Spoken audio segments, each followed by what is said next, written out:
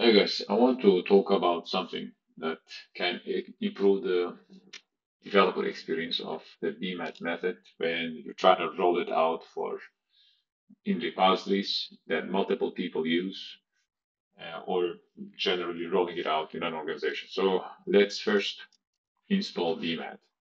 So right now I am not using npx install. I'm using a local install for the um, v6 alpha. So There I have the V6 alpha bench checked out. I'll pull it. Okay, and then I will install BMad. And then I want to install this into this BMad test folder. Right? So paste that in. And then yes, yes, yes. Call me BMad whatever, doesn't matter. Language English. These things don't matter.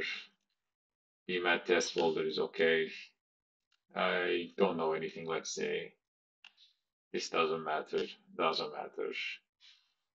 Looks like Brian added something cool for the Playwright MCP capabilities I added, like auto healing and stuff. Basically, like all the Playwright goodies they came up with have been integrated into test architect. So let's say Claude Code cursor and context elder. Okay. Install sub agents. Okay, at project level, CLI is fine. Okay. So right now this is not a Git repository, but let's say if it was a Git repository, this BMad, just this BMad change here in this empty folder, 66,000 change, right? And it, all it did is install these things.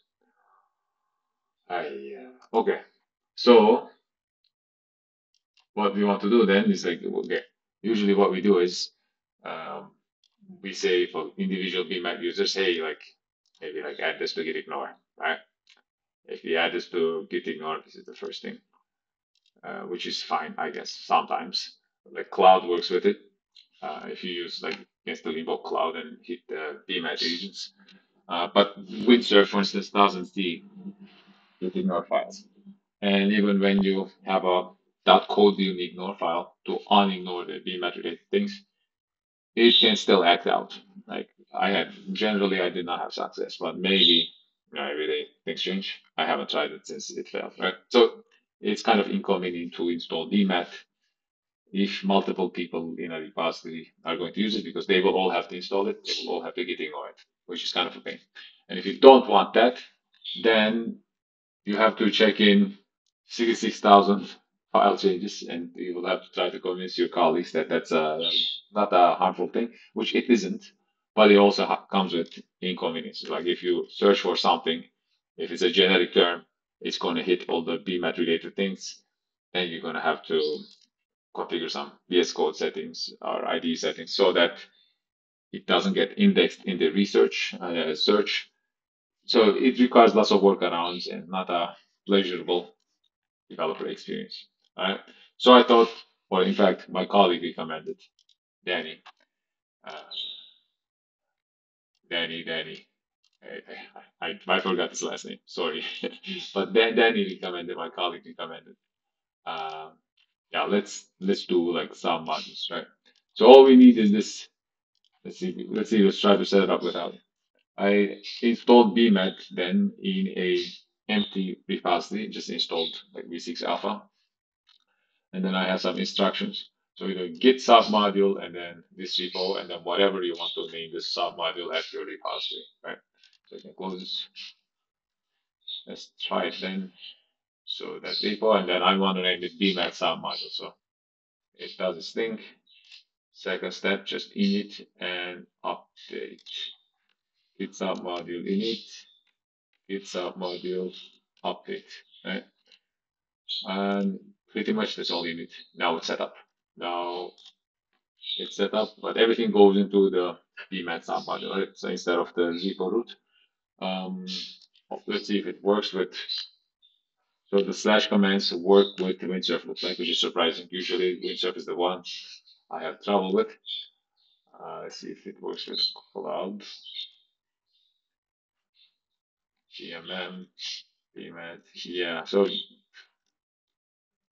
usually uh, Claude is a lot better with uh, slash commands, but it seems like they are kind of lazy with this. So what we'll do is uh, just add, go to BMM folder, agents, and then add the agents you want to work with, right? Perhaps when my fellow contributors at BMad, when they see this, they might think of an idea. Hey, like, how do we make our code still work when uh, BMad is installed in a sub module? We can always do the add markdown file thing. Looks like that's working. Um, but yeah, I think this is a pretty okay way to like try to roll out BMad in your organization. And like only two changes, right? The only changes that register here are is the git modules file. And then it says, hey, there's a sub here named that. So it kind of knows that there's going to be something there, like a bookmark, but none of the content of BMad framework is included in the PR. So it makes a 60K PR into two files. That's all I wanted to share. Thanks.